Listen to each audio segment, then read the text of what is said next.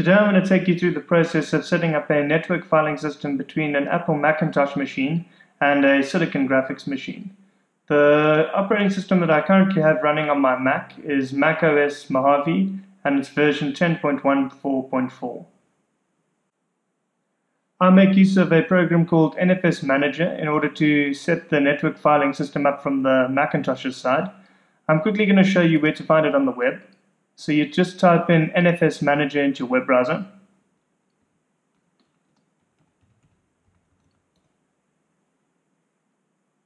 Okay, and you must look for the site NFS Manager download from Marcel Bresink. Okay, and go to the download page and just click on download.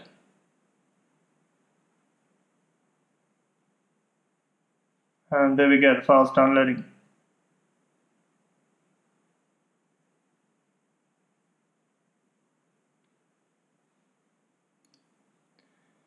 Okay, and that sits in my downloads folder. Okay, so I've already got a copy of this DMG file on my desktop and I have it installed. So I'm quickly going to click on NFS Manager and I'm going to go to New Share. Okay, and then you go to Select. I'm going to select Users, the black hole, Desktop, and the folder on my desktop which I want to share with my IRIX machines is the folder IRIX. So I select and there it is. Okay, I'm going to allow other users or other clients to be able to write into this folder. So I check that box and then click apply. And there it is. Quickly going to test my server. So I'm going to select, I've got the black hole and I'm going to test it. And there you can see it's up and running. Now that I've set up the network filing system from the Macintosh's side, I'm going to move over to my Silicon Graphics Octane 2 to continue the process there. Now that I've completed the network filing system setup from the Macintosh's side, I'm quickly going to take you through the process that must be followed on the Silicon Graphics machine in order to set the network filing system up. So I'm going to start off by going into System Manager it's very important to make sure that networking is set up on the system. So I'm going to go into networking and connectivity, set up and start networking. Okay, the network interface is selected. Okay, I'm not making use of a DHCP client, so the hostname is Octane Workgroup Home, and this is the machine's IP address. Okay, and then it asks me to restart the system. So I'm quickly going to do that. And I'll speed this section of the video up just to save some time.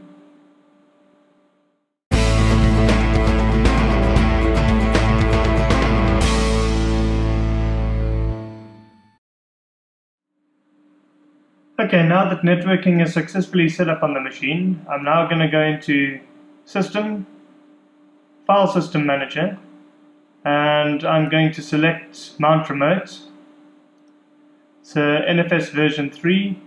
It's a permanent mount. And I'm going to look for the black hole.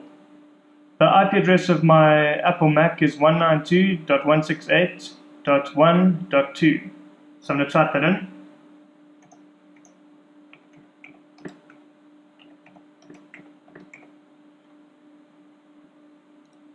Okay. And there it is. Click next. Okay, now I need to find a file or a folder within my Unix root in order to mount this directory. So when to check in Unix root. I've already got a folder called the black hole and I've got a reference of this folder on my desktop. Okay, so I'm going to type in forward slash the black hole.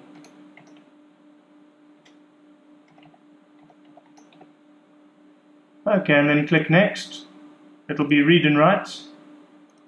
Next. And OK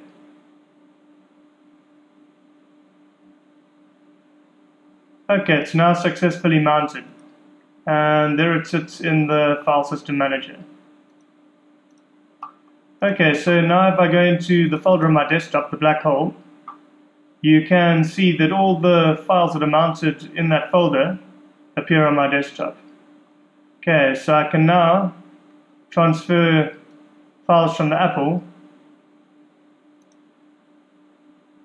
to my Octane via the network filing system. And there we go.